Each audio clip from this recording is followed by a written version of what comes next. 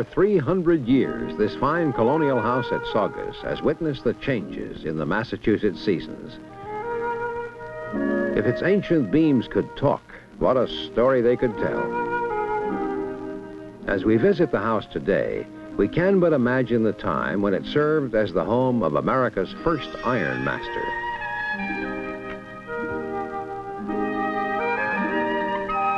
Before this very fireplace, New England's earliest settlers dreamed of the day when America would meet its own needs for iron. The centuries passed.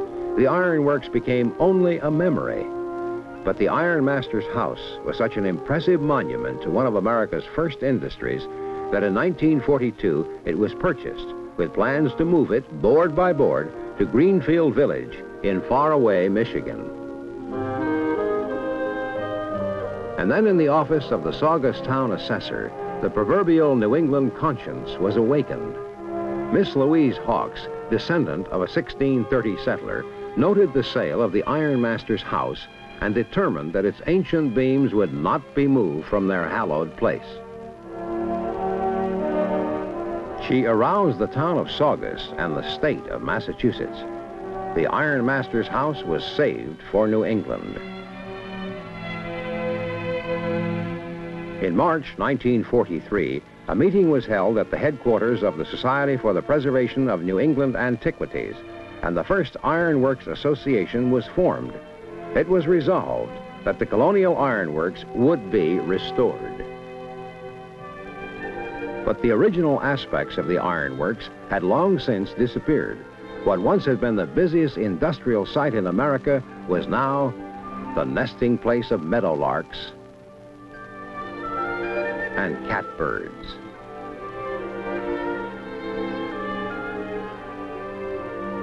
Yet here, to the knowing eye, was the slag pile, and beneath the topsoil, there must be other evidences of the past. To explore the site, J. Sanger Atwill, president of the association, interested archaeologist Roland Robbins in making preliminary excavations, and thus began one of the most amazing archaeological stories in the annals of America. Within a month, the foundation stones of the original blast furnace had been unearthed. Sensing the importance of the project, American Iron and Steel Institute agreed to underwrite the cost of restoring the iron works. From the Massachusetts Institute of Technology, the services of Professor E.N. Hartley were enlisted to search the written records for facts and figures concerning the old ironworks. The records of the Winthrop family were an important source of information, for it was the son of the first governor of the Massachusetts Bay Colony, John Winthrop, Jr., who organized the Company of Undertakers for the Ironworks in New England. Faded early American records are often difficult to decipher. But if you are familiar with Elizabethan writing, strange lines take on familiar meaning.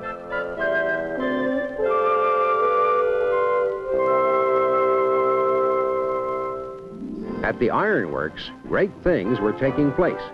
Only a foot below the surface was found the 500-pound iron hammerhead, which 300 years ago had forged wrought iron from pig iron produced by the furnace. Here was the hammerhead used to beat out iron for America's first homes. Iron to dig with. Iron to saw with. Iron hatchets. Pliers spikes, weights, cannonballs, hammerheads, and wedges. Three tons of artifacts were found during the first year of archaeological work. The Lynn Public Library displays the famous Saugus pot, which, according to tradition, was the first casting made at the ironworks. Tradition and fact are often worlds apart. So a spectroanalysis was made of both the iron in the pot and the iron found at the ironworks. Their chemical composition was found to be identical. Tradition was fact. Archaeology is an exacting science. Great care must be taken or the story that the earth has to tell may be forever lost. the modern archaeologist can use newly developed electronic devices to point out the location of buried objects. And in experienced hands, a metal probing rod is a very reliable guide. Test trenches dug throughout an area provide a remarkable insight into the past. The wall of a test trench gives a cross-section of history. Here, for example, is the surface level of the 1890s, the 1800s, the 1700s, and the 1640 outline of the waterway which led to the furnace water wheel. The age of each level is determined by a study of the artifacts which are found in it, like this shovel, a colonial shoe, a metal spoon, a piece of pottery,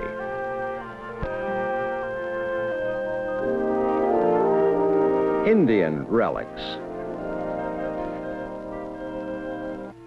Explorations were carried into the surrounding countryside. The waterway was traced to the old dam site. Historical records tell of the destruction of the dam in 1678. In following the course of old waterways, the archaeological crew enlisted the cooperation of the people of Saugus, for excavations often closely approached the homes of today. Finding the tuyere pipe, through which air from the bellows was fed into the blast furnace, provided important facts on which to base the reconstruction of the bellows. The location of the original timbers, which formed the base of the bellows, convinced archaeologist Robbins that below the pavement of Central Street lay the position of the water wheel, which had activated the bellows. The town of Saugus cooperated, and Central Street was rerouted around the ironworks. 21 feet beneath the pavement, the 17th century water wheel was found. The 40% section still intact showed that the old wheel was 16 feet in diameter and had 50 buckets. Reconstruction of the furnace was undertaken using some of the very stones with which the original furnace had been built. Working from plans based on the archaeological findings, skilled stonemasons soon completed the key structure and finished it in authentic colonial style. The Saugus furnace once again stood against the New England sky, a dramatic tribute to pioneers of America's iron and steel industry. After the stonework came the woodwork.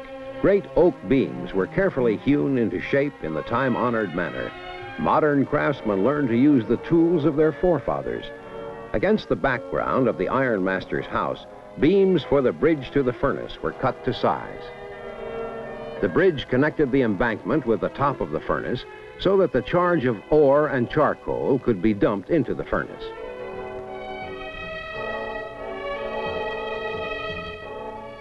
From faraway Maryland, a great oak was brought to Saugus for the shaft of the furnace water wheel. Even with modern equipment, handling this giant tree was a problem.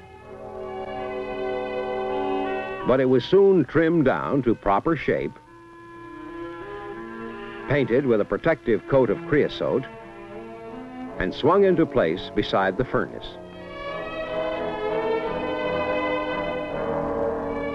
The furnace water wheel was reconstructed to precise measurements obtained from the original water wheel and joined to the shaft in the wheel pit.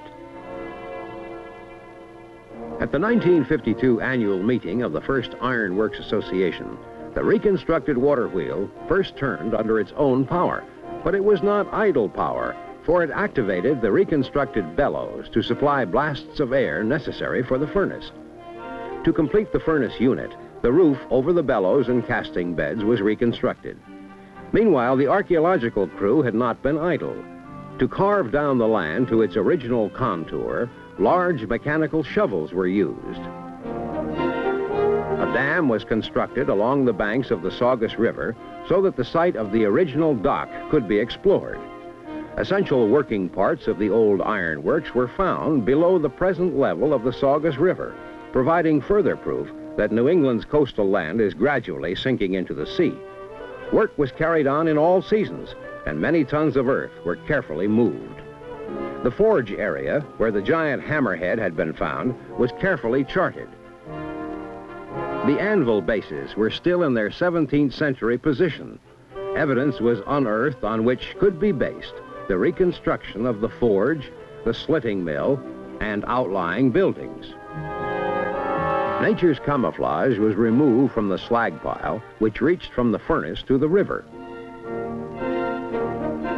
Beside the slag pile, where the furnace tail race had once run its course, old records indicated that Joseph Jenks had worked his forge and planned the machine for which he was awarded the first industrial patent in America.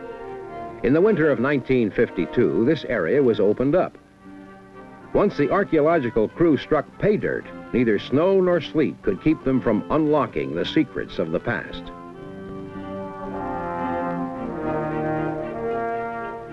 In the Jenks area, the remains of three water wheels were found.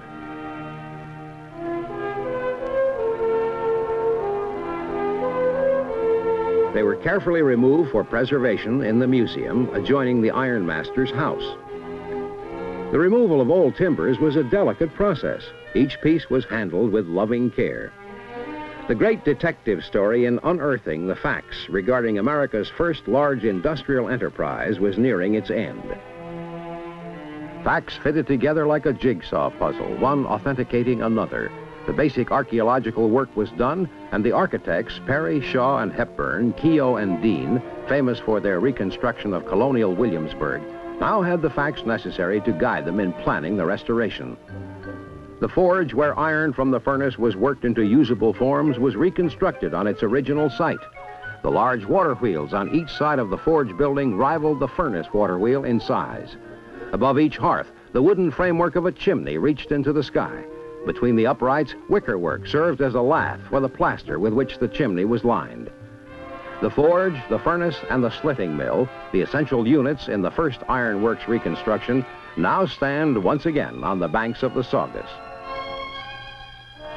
Starting with the Iron Master's house, the pond and slag pile, the archaeologists plotted the courses of the old waterways and uncover the location of the furnace, the forge with its giant hammer, the slitting mill, and other ironworks buildings. Here is the Saugus Ironworks of 1650, a prime example of the industrial pioneering that made America what it is today. From this original works, iron masters and skilled workmen went forth to establish plants at Taunton and New Haven, at Concord and Providence, and later to other points along the Atlantic coast.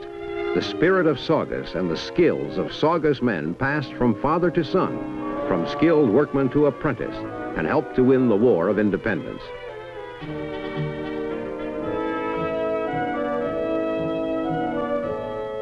The many centers of iron and steel production which serve America today represent the evolution and expansion of the industry from the early days of Saugus. Today, Saugus is not only the birthplace of the American iron and steel industry, but a prototype of American heavy industry in general. The works at Saugus employed 100 men. Today, the American iron and steel industry provides employment for about three quarters of a million men and women. Capital investment in Saugus was about $165,000. Today, the iron and steel industry represents an investment of over $16 billion. Saugus produced less than 175 tons of iron products per year. Today, some blast furnaces can turn out more than 3,000 tons of pig iron per day, and the industry has produced over 134 million tons of raw steel in a year. The ironworks at Saugus is no monument to a dead past. It is a reminder of the great advances which the iron and steel industry has made and will continue to make, helping to provide the sinews of our national security and the basis for our unmatched standard of living.